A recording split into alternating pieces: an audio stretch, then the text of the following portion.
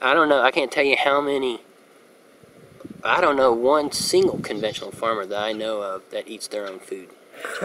you know, I've just Right. recently met a guy in in the Brazos Valley that has this huge turkey and chicken farm, and he won't eat them Why? because he knows he wouldn't eat it. You know, Because he knows what? What's he doing? he knows the condition that these animals live in. Yeah. He knows the genetic freaks that these meat birds are, you know, that can't even stand on their own two legs and can't live over nine months or nine weeks because their internal organs can't even aren't even fully formed and can't handle it. They're just freaks of nature. You talking about chickens? here? Yeah, chickens, and then and then to not to mention all the the feed that the chickens eat. You know, genetically modified corn and soy. I mean, it's just it's not food fit for consumption.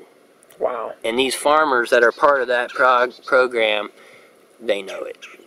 As much that they won't even put it on their own, serve it to their own family. You know, you're right. I'm, I've been talking to farmers out here too. I've been talking to ranchers. They do know it, but at the same time, they got to make a living too, right? They're, they're under all this competitive pressure. If they try to do it the right way, the healthy way, they're going to be out of business because their neighbor's doing it that way. The only way I think small farmers, small ranchers can do it today is by selling direct to the consumer.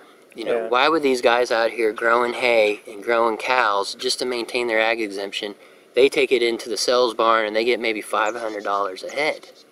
You know, when you can spend a little bit more time, you know, do it right, 100% on grass, sell it direct to consumer, and you can turn that same cow into $2,500 Yeah. you know and so maybe uh, and that's the same way with the way i take my vegetables if i wanted to sell wholesale and go that route i would have to pr- produce 75% more than i do now to make the same amount of income Uh-huh. why would i want to work that hard why would i want to turn this into such a factory system you know Right.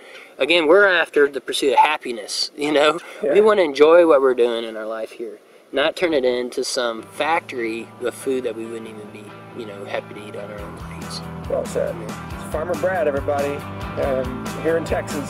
What's your website again? homesweetfarm.com. HomesweetFarm.com. Thanks for coming.